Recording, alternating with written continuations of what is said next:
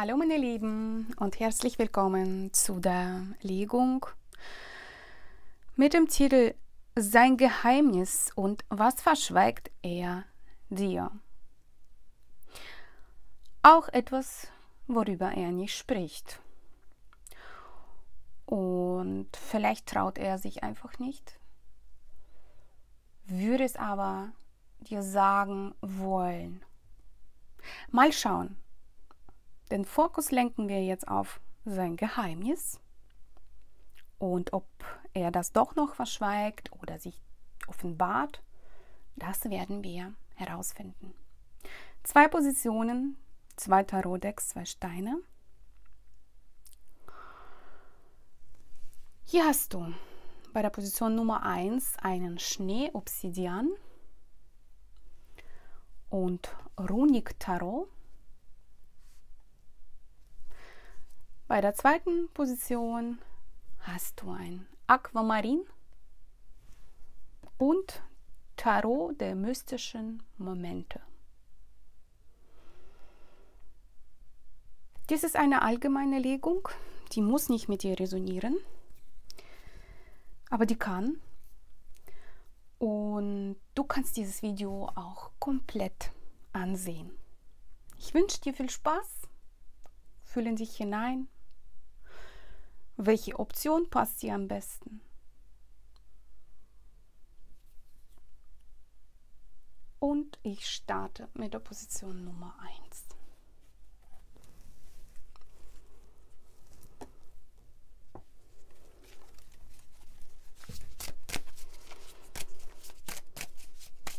Als erstes schaue ich mir an, in welchen Energien der Mensch ist.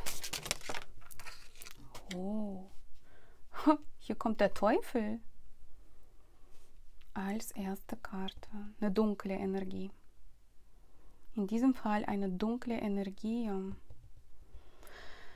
Sei es er wird geführt, er wird gelenkt von dem Freund hier oben. Ja. 15. Trumpfkarte, 15. Arkanum, der Teufel, steht für unter anderem dunkle Energien. Was ich hier noch ablese, ist Erschöpfung. Denn von solchen Energien gelenkt zu werden, kostet ganz viel Energie. Ja, und hier ist es schon am Verzweifeln, denn er sieht, was er hier hinterlässt. Eine Wüste. Ein Land voller Asche. Ein verbranntes Land.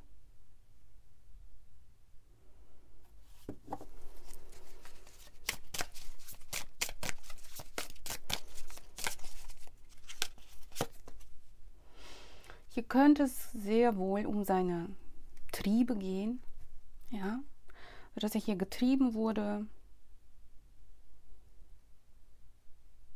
Und nicht immer wusste, was er da eigentlich anstellt, was er tut. König der Stäbe ist erschienen,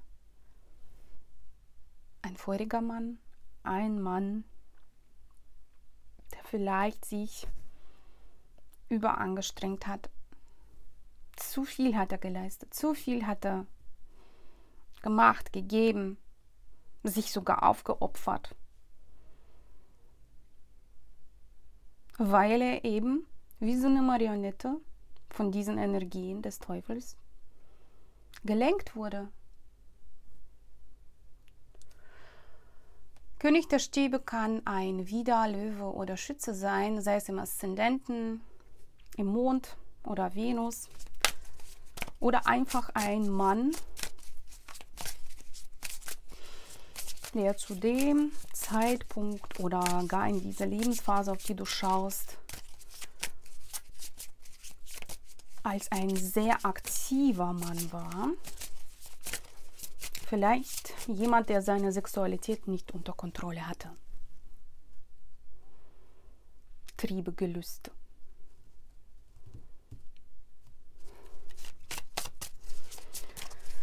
Das reicht mir schon mal.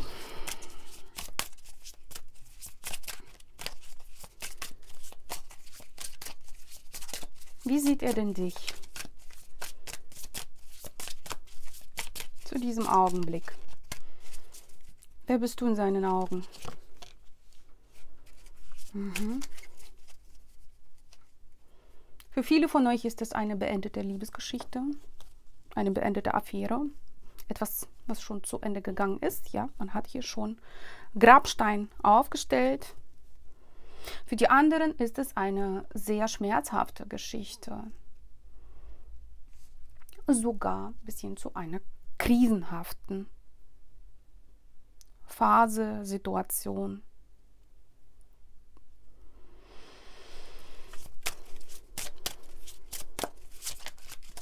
Liest er denn dich als eine Frau, die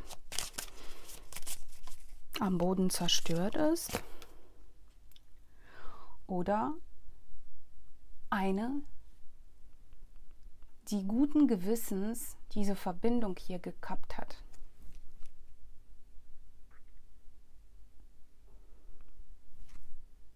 Sei es, du hattest hier satt, ja, von diesen Energien des Feuers.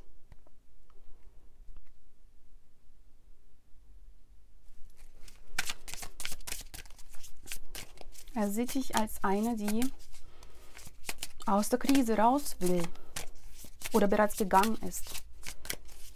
Mag sein, dass du schon auf einem anderen Niveau bist, dass du schon woanders bist emotional, dass du da nicht mehr leidest. Aber es ist die Finale, es ist, es ist ähm, sogar ein Ende deines Leides. Was sieht er noch? Mhm. Schön, wie die Fäden des Schicksals gesponnen wurden. Das musste so sein. Das ist so gekommen.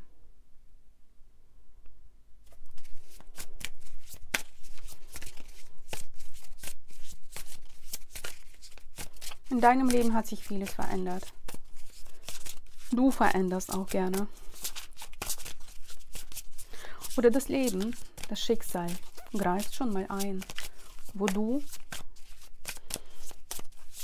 nicht eingreifen wolltest. Da haben die höheren Mächte keine Geduld mehr mit dir gehabt. Ja, die hatten zwar genügend Popcorn und haben sich lange genug das Ganze hier, was zwischen euch hier ablief, sich angeschaut, aber irgendwann sagten die, das geht nicht mehr. Ja. Und eingegriffen. Was ist jetzt wichtig?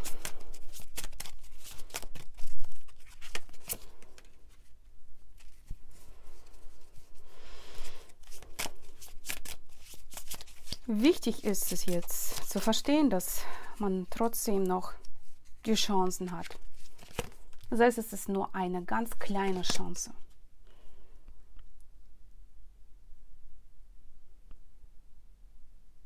Deine Position ist stark. Königin der Schwerter fällt.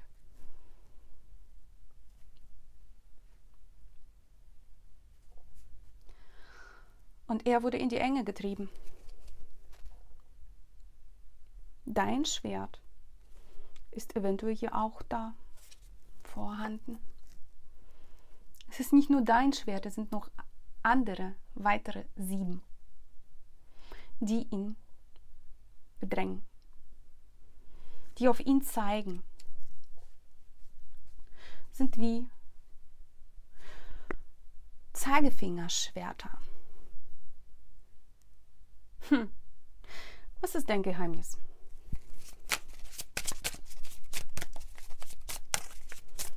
Was ist dein Geheimnis?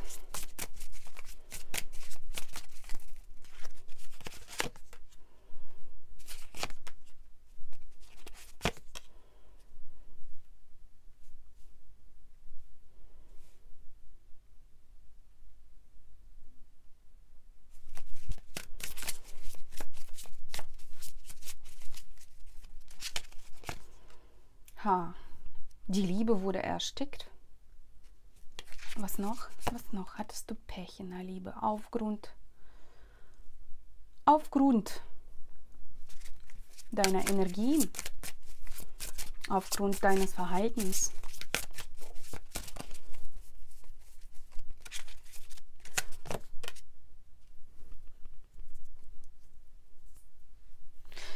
Sein Geheimnis ist hier, dass er doch noch ganz genau versteht, was er alles hier zerstört hat, zunichte gemacht hat. Dass es hier doch noch Potenzial gab zwischen euch oder gibt, wenn du jetzt noch immer noch Kontakt mit ihm hast. Hätte er hier nur sich anders verhalten, hätte er hier nur mehr Anständigkeit an den Tag gelegt, mehr nach höheren Regeln, höheren Werten gelebt, wäre die ganze Geschichte hier anders ausgegangen. Aber nun steht er im Regen.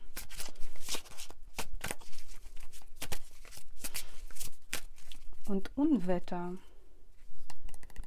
verbreitet sich, zieht immer mehr ein in sein Leben, in seine Seele. Er gesteht. Aber eben, er redet nicht darüber.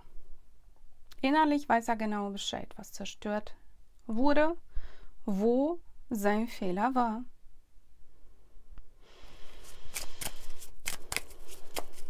Möchte er denn hier etwas verbessern? verbessern. Naja, wenn du mitziehst. Wenn du mitziehst. Vielleicht benötigt ihr beide eine begleitende Person. Sei es, es sind auch Menschen, die euch unterstützen, euch Ratschläge geben, die gut sind für euch. Oder die euch einfach die Perspektiven nochmal aufzeigen so eine Art Mediator oder jemand, der begleitet, sei es, es geht sogar um die Paartherapie, je nachdem. Eine verpasste Chance, über die er hier nicht spricht. Verpasste Chance auf mehr Gefühle, auf mehr Liebe. Mhm. Er hat sich als König der Stäbe aufgeführt, anstatt König der Kelche zu sein. Jemand, der Gefühle hat und diese auch zeigt. Hast du deine Gefühle so oft versteckt oder wie soll ich das verstehen?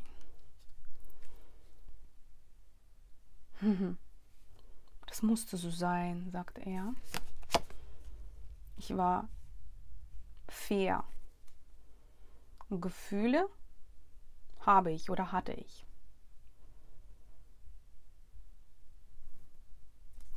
Ja, diesmal so eine Legung für dich, meine Gute.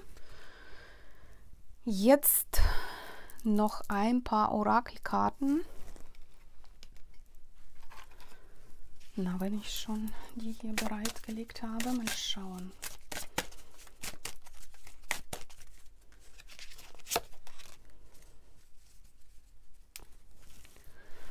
muss mal in meinem Buch nachsehen,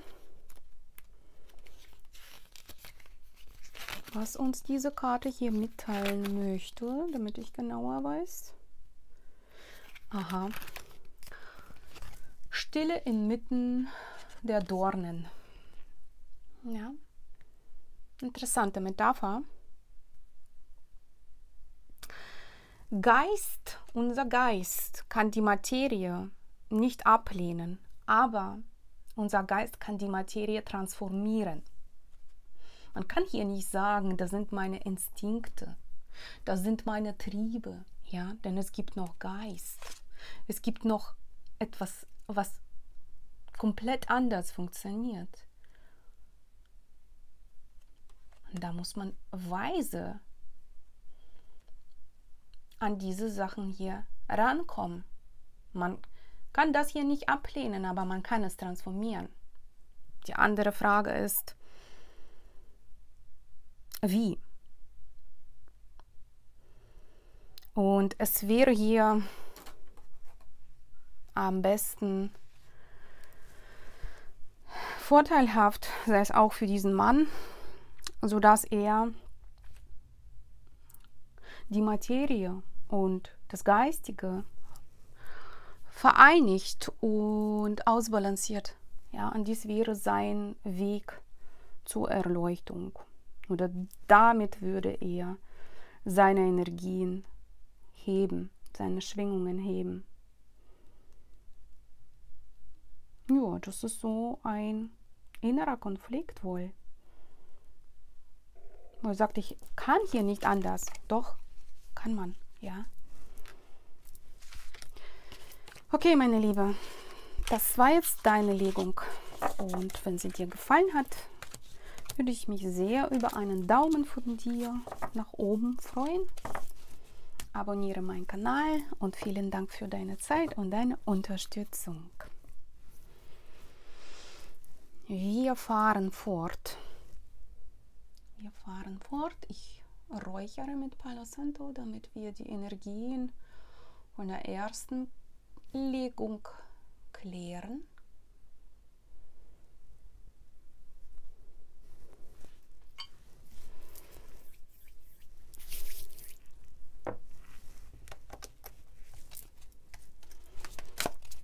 Position Nummer 2. Willkommen. Sein Geheimnis, was verschweigt er dir? Zuallererst seine Energien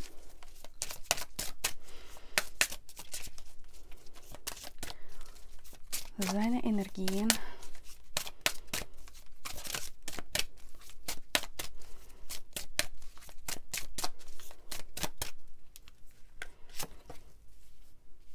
hm.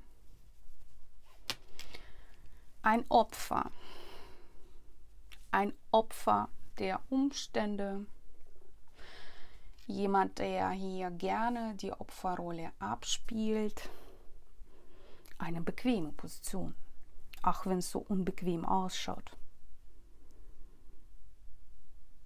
Eine eigene Welt, die er sich hier geschaffen hat.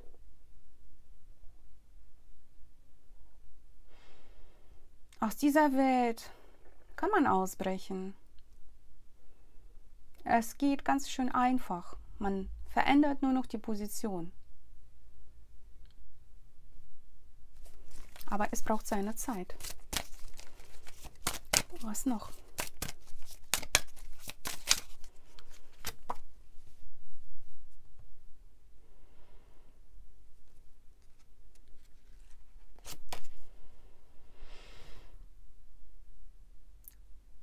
Hier bist du auch in seinem Kopf. Das heißt, du hast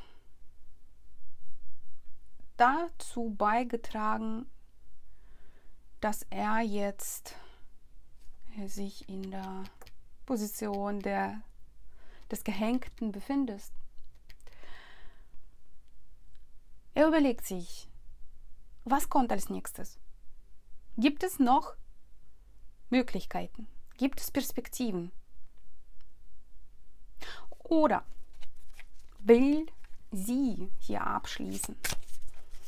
Bin ich noch für Sie interessant? Wird sie sich bei mir melden? Soll ich mich bei ihr melden? Grübeln, überlegen. Verharren. Nichts tun.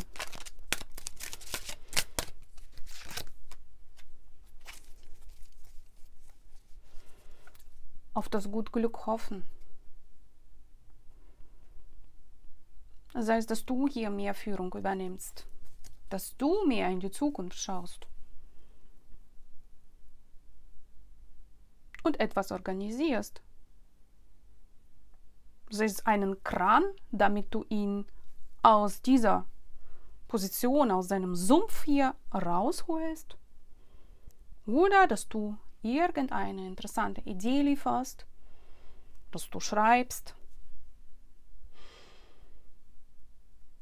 und erzählst, wie du dir denn das Ganze mit ihm vorstellst. Er ist wie so ein Nilpferd, der jetzt in seinem Sumpf verharrt und nicht so einfach rauszuholen ist. Okay. Wie sieht er denn dich?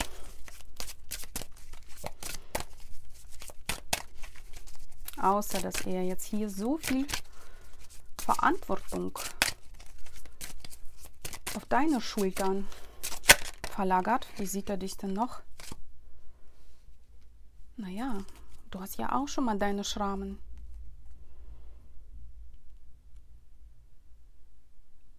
Du hast schon einiges erfahren. Zwar stehst du gut da und redest nicht über das Ganze, versuchst es vielleicht doch noch sogar irgendwie zu kaschieren und, und als etwas ganz Normales zu präsentieren. Aber es gibt sogar einen Grund, dass du dich hier von ihm distanzierst, sei es emotional. Oder dass du nicht unbedingt hier handeln möchtest. Einen ersten Schritt machen. Die Führung übernehmen. Das ist erstmal nicht in deinem Sinne. Was noch? Mhm. Da sagt er, sie ist schon ein schlaues Mädchen. Sie wird schon die richtige Entscheidung treffen. Sie wird schon eine richtige Lösung finden. Das weiß er.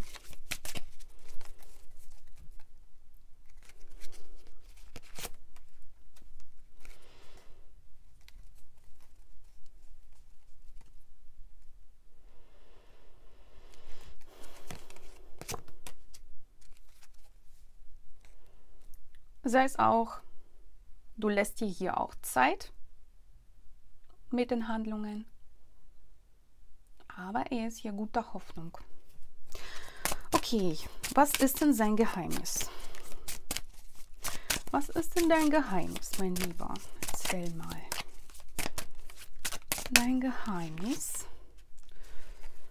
Aha, König der Stäbe, nur in der Scheiben.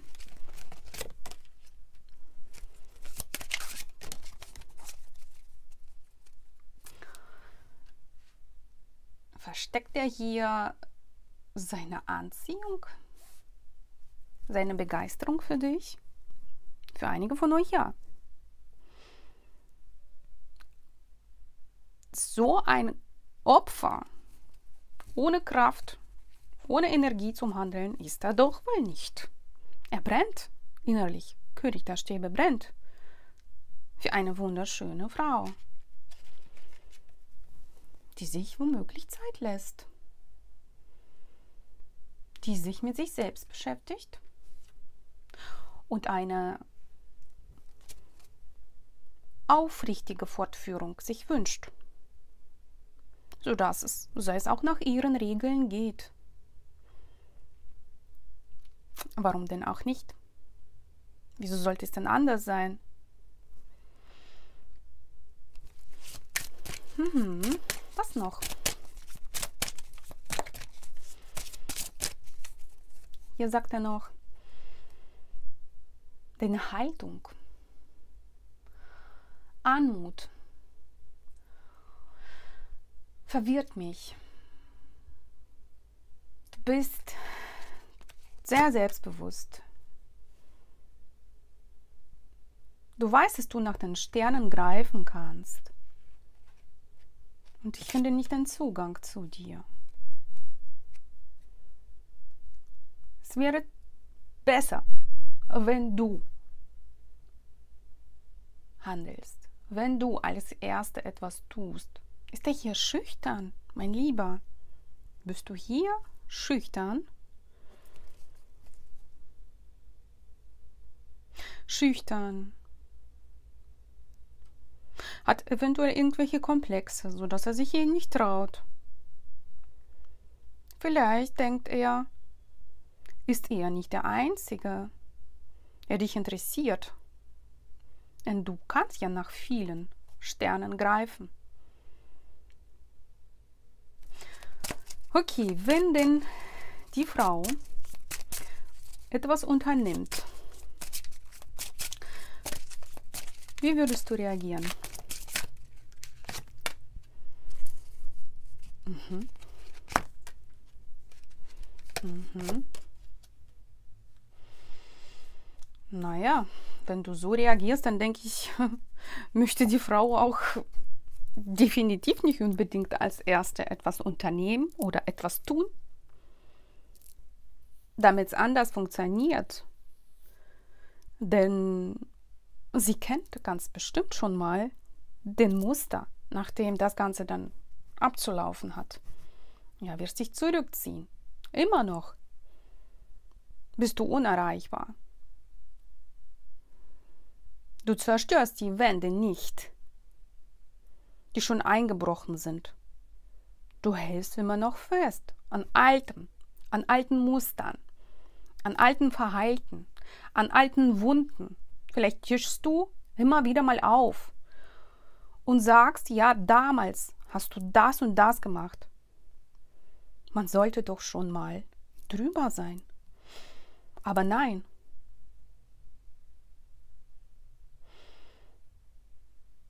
das bereitet dir Freude oder Spaß oder ich weiß nicht. Was gibt dir das? Ja?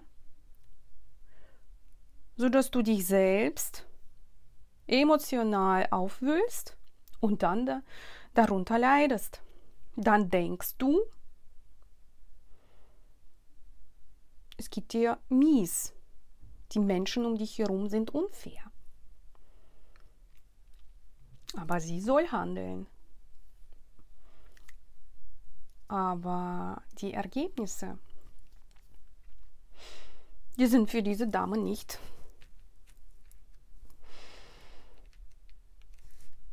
Schön. Damit hat sie auch nicht gerechnet oder sie möchte nicht mehr damit rechnen. Ach, okay. Ja, die Opferrolle aufzugeben ist oft nicht einfach. Würdest du denn trotzdem irgendwann oder ist es irgendwie möglich, dass du doch noch die Dinge einsiehst und dich veränderst von alleine, ohne Unterstützung, ohne Gehhilfe und ohne dass du diese Frau hier einwickelst? Ja, sagt er. Ja, da muss er aber mit seinem Ego etwas arbeiten, ja? Ist nicht einfach, Ego-Strukturen aufzubrechen. Die Sonne, die Sonne. Es gibt Hoffnung, meine Liebe. Das freut mich schon mal. Ein Sturkopf. Hm. Ach, okay. Jetzt die Botschaft von oben.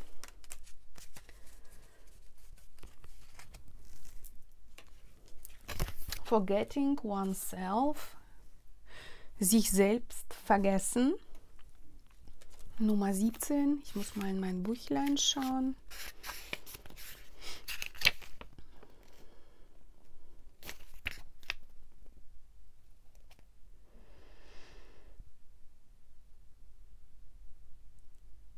Naja, auch diese Karte hier erzählt mir darüber, dass er, das heißt, er wartet einfach die besseren Zeiten ab.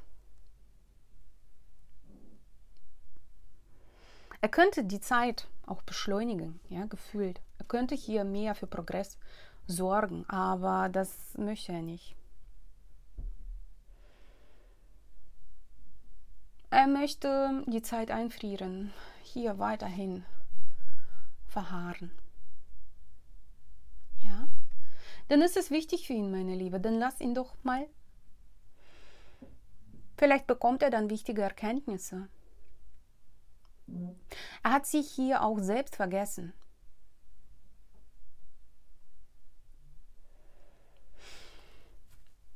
Er hat hier seine eigene Musik vergessen. Er soll sich an sich selbst erstmal erinnern. Er ist hier in so einem Loch, Vergessenheitsloch. Irgendwo, wo er sich selbst erstmal finden muss.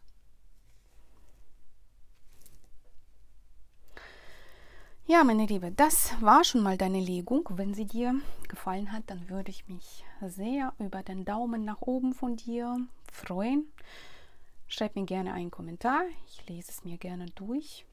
Ich wünsche dir alles Gute, viel Kraft und Geduld mit diesem Mann. Und falls du tiefer schauen möchtest, genau auf deine Situation, dann buche einfach eine persönliche Legung bei mir. Dafür schreib mir bitte einfach nur eine E-Mail. Ich wünsche dir alles Gute und eine schöne und glückliche Zeit. Mach's gut, meine Liebe. Ciao.